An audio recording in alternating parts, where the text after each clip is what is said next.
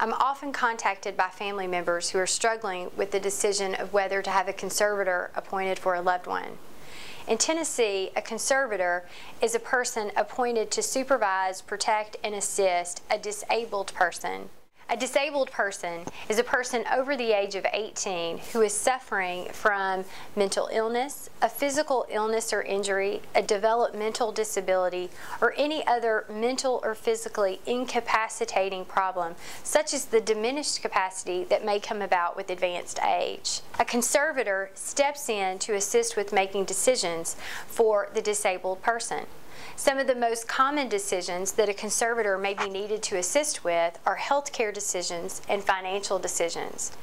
Once the conservatorship is established, many people ask, will all of my loved one's rights be taken away?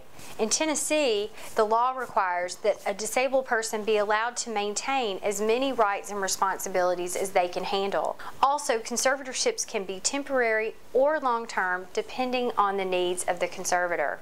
A conservatorship is started in Tennessee by filing a petition with the appropriate court where the disabled person lives. Usually that's the chancery or probate court in that county. Once the petition is filed, the court may appoint a neutral attorney, known as a guardian ad litem, who will give an unbiased opinion to the court after consulting with all the interested parties as to whether a conservatorship is needed and the scope of the responsibilities that should be given to the conservator. Serving as a conservator is a big responsibility.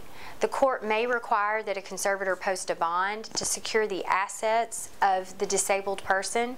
The court may also require that the conservator file an accounting on an annual basis to show how the money of the disabled person is being spent and how their assets are otherwise being protected. For more information about conservatorships, you may want to consult the website of the court clerk in the county where the disabled person resides. Many of our Tennessee court clerks provide general information about conservatorships and also provide forms to be used by conservators.